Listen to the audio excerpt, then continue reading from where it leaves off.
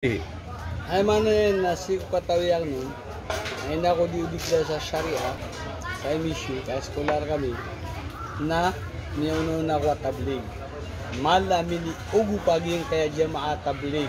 Sa kami marangan sa kiki ator ni Kenduk Kumbaya, rahimahullah, eh, limos kanino Allah subhanahu wa ta'ala. Naging kaya tablig na mala mini ganyan, mini gupian sa Pilipinas. Sampur na sa Pilipinas.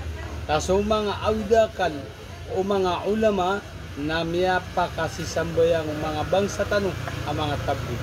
Di naman ang mga 3Ds, 10Ds, 40Ds na pimba alananan, abitikan, a okay, a kapagpakalaw lalo agamaw Allah subhanahu wa ta'ala na da maratasan. Ay pagkarataw na so, dinyan type. Nagyuto na apian tunad na grupo na ad na bitikan yan.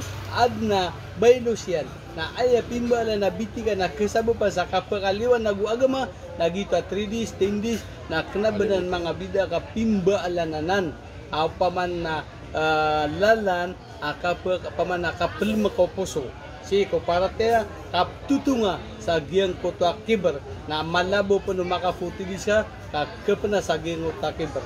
Na mala na naminingkay ni Naguna sa Pilipinas. Saludo ko ko